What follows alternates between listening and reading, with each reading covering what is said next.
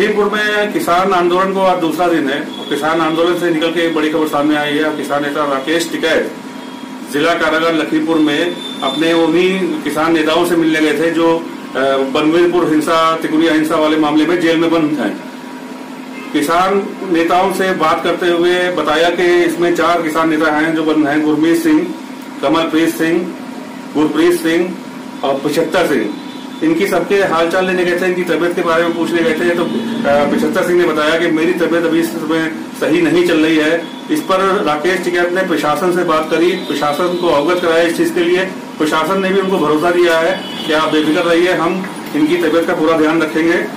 और ये खबर शंकर आ रही है कि राकेश टिकैत जो है, आगे भी अपना इस तरह का वो कैंपेनिंग चलाते रहेंगे। Arshad Khan Q TV news.